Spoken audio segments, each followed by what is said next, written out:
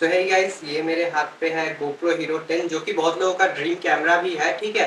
और बहुत लोग ये लेने के बारे में सोच भी रहे हैं क्योंकि ये बहुत अच्छा ऑप्शन होता है। अगर आप मोटो व्लॉगिंग या फिर ऐसा कोई पैशन यूट्यूब में फॉलो करना चाहते हैं और आप चाहते हैं कि बहुत ज़्यादा हाई क्वालिटी वीडियोस आप अपलोड कर पाओ यूट्यूब पे पर मैंने ये गोप्रो लिया था करीब करीब छः महीने पहले और मेरा जो एक्सपीरियंस है, मैं आपके साथ शेयर करने वाला हूँ क्योंकि मुझे लगता है कि गोप्रो शायद उतना भी स्पेशल नहीं है। आप थोड़ा और एक्सप्लोर कर सकते हैं अगर आपका बजट ज़्यादा हो, क्योंकि गोप्रो ऑलरेडी बहुत ज़्यादा महँगा आता है और ये हीरो टेन है हीरो 11 और हीरो 12 में भी ये वाला सेम वाला प्रोसेसर आता है। तो आपको अगर गोप्रो लेना है तो पहले मेरी, मेरा ये वाला वीडियो ज़रूर देख लीजिए कि ये सारे प्रॉब्लम्स आपको बाद में बहुत ज़्यादा तकलीफ़ देने वाले हैं, जो मैंने फेस किया है, क्योंकि इतने सारे पैसे देने के बाद अगर ये प्रॉब्लम्स आते हैं, क्योंकि काफ़ी महँगा आता है गोप्रो तो ये सारे प्रॉब्लम्स मुझे लगता है कि गोप्रो को सही करना चाहिए। तो आपके लिए बेटर ऑप्शन भी हो सकते हैं, कोई भी कैमरा आप रिसर्च करके लीजिए, पर ये वाला वीडियो गोप्रो लेने से पहले ज़रूर देखिए। तो पहला जो प्रॉब्लम है गोप्रो हीरो 10 के साथ तो वो मुझे लगता है बहुत एक बड़ा प्रॉब्लम है कि गोप्रो हीरो 10 बहुत ज़्यादा हीट होता है और ये हीटिंग इशू आपको बहुत ज़्यादा सफरिंग्स देने वाला है, क्योंकि अगर आप चेस्ट माउंट में साइकिलिंग के लिए या फिर हेड माउंट में यूज़ करने वाले हो इसको, ठीक है? तो आप वो हीट लिटरली फील कर सकते हो कुछ देर के बाद बहुत ज़्यादा कैमरा हीट होने लगता है कि जो कि होना नहीं चाहिए, ठीक है? आप इतने महँगे कैमरे को यूज़ कर रहे हो, फिर भी अगर गोप्रो में इतना हीटिंग इशू होता है, जो कि होता है गोप्रो में स्पेसिफिकली अच्छी बात नहीं होती है, ठीक है? हीटिंग इश्यूज़ के लिए कभी कभी इतना ज़्यादा हीट हो जाता है स्पेसिफिकली जब गर्मी इतना ज़्यादा होता है इंडिया में इतना ज़्यादा कैमरा हीट हो जाता है कि आपको लगने लगता है कि क्या ये कैमरा सही है, क्या ये कैमरे का प्रोसेसर अभी ब्रास्ट होने वाला है? क्योंकि बहुत ज़्यादा हीट होता है, अगर आप गोप्रो यूज़ करते हैं, आपको पता होगा ये। दूसरा जो प्रॉब्लम है गोप्रो के साथ, वो है इसकी बैटरी लाइफ क्योंकि इसकी बैटरी लाइफ बहुत ही ज़्यादा खराब है, क्योंकि डेढ़ घंटे का टाइम वो भी तीस हज़ार, बत्तीस हज़ार या फिर पचास हज़ार के प्राइस में अच्छी बात नहीं होती है, क्योंकि आप इतना ज़्यादा पे कर रहे हो तो आप एक्सपेक्ट करते हो कि गोप्रो आपको कम से कम एक ढाई घंटे की रिकॉर्डिंग टाइम दे पर जो कि नहीं देता ये कैमरा ये बैटरी बिल्कुल भी नहीं देता। जो डिफ़ॉल्ट आता है वो तो बिल्कुल भी नहीं देता। बैटरी लाइफ बहुत ही ख़राब है ठीक है?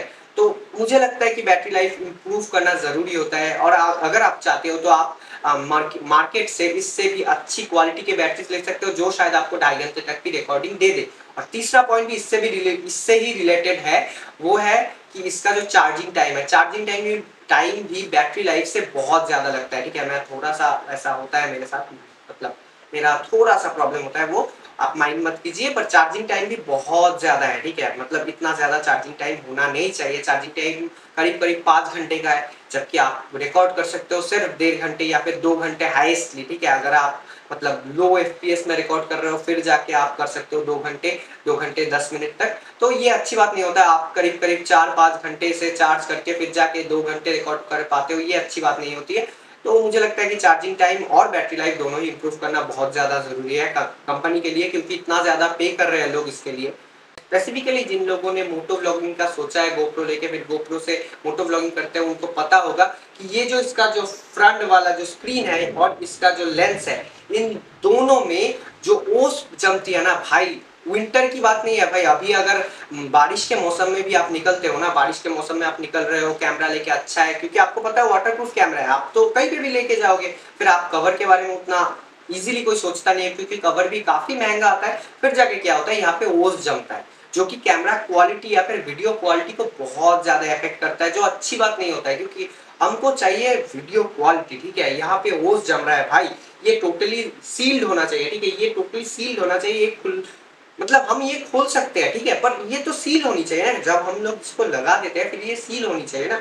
यहाँ पे कैसे ओस जम रहा है? फिर मुझे ये समझ नहीं आता, क्योंकि मैं मैं आपको वीडियो क्वालिटी भी दिखाता हूँ। मेरा जो पिछला वाला मोटो ब्लॉग है, उसमें आप देख सकते हैं कि बीच में थोड़ा सा जो है हेजी आ गया। वो उसकी वजह से कि इसके लेंस में ओस जम गई। भाई, ये अच्छी बात नहीं है, ठीक है? ये वाला इतना महँगा जो कैमरा है, इसको लेके अगर आप का मतलब होश जम रहा है तो ये अच्छी बात नहीं है, क्योंकि इतना महँगा कैमरे के साथ आप ये वाला क्वालिटी का सेक्रीफाइस तो नहीं कर सकते। और पांचवा जो प्रॉब्लम है इस कैमरे के साथ, वो है लो लाइट परफॉर्मेंस ठीक है सोनी का सेंसर तो दिया हुआ है इसके अंदर प्रोसेसर दिया हुआ है, पर फिर भी इसका लो लाइट परफॉर्मेंस उतना खास नहीं है, ठीक है? अगर आपको मतलब सनराइज या फिर सनसेट के जो व्यूज़ है, वो अगर लेने हैं तो इतना ज़्यादा अच्छा नहीं आता है, ठीक है? मैं पहले ही बोल दूँ, आप 5.3 के पे भी रिकॉर्डिंग करो, फिर भी ये ज़्यादा कैमरा मतलब ये कैमरा उतना ज़्यादा अच्छा क्वालिटी डिलीवर नहीं कर पाता है, ठीक है? क्यों पता नहीं, पर बहुत ज़्यादा। मतलब शायद ये कैमरा का सेंसर छोटा है, इस वजह से हो सकता है, पर लो लाइट परफॉर्मेंस उतना अच्छा नहीं है, ठीक है? वो है कि इसका माइक कनेक्टिविटी क्योंकि आपको जो माइक्रोफोन अडाप्टर खरीदना पड़ेगा ना गोप्रो के वेबसाइट से या फिर गोप्रो से, वो काफ़ी एक्सपेंसिव आता है। INR में करीब करीब आठ हज़ार रुपया, ठीक है? जो काफ़ी एक्सपेंसिव होता है, ठीक है?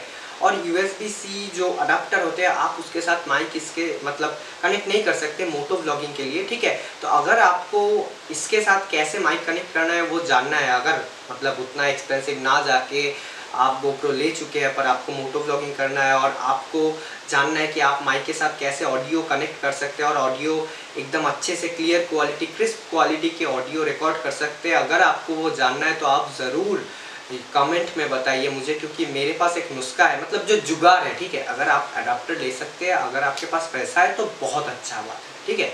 पर अगर आपके पास नहीं है, फिर जाके मैं आपके साथ वो वाला जो मैं जो तरीकी यूज़ करता हूँ, ठीक है? स्पेसिफिकली मोटो ब्लॉगिंग के लिए, वो वाला तरकीब मैं आपके साथ शेयर करने वाला हूँ, जो कि काफ़ी इफ़ेक्टिव भी है, ठीक है? बहुत क्लियर क्वालिटी आता है ऑडियो का और बहुत सस्ते में भी हो जाता है, ठीक है? तो अगर आपको वो वाला टेक्निक चाहिए तो ज़रूर इस वीडियो को लाइक करें और कमेंट करके बताइए कि आपको वो टेक्निक चाहिए कि नहीं। और अगर आपके पास पैसा है तो अडाप्टर खरीद सकते हैं, पर ये वाला एक बहुत बड़ा इशू है क्योंकि आप इतना एक्सपेंसिव माइक्रोफोन अडाप्टर नहीं ले सकते। मतलब सब तो अफोर्ड नहीं कर सकते, ठीक है? So hope you like the video and if you did to not forget to subscribe and follow me on my social media.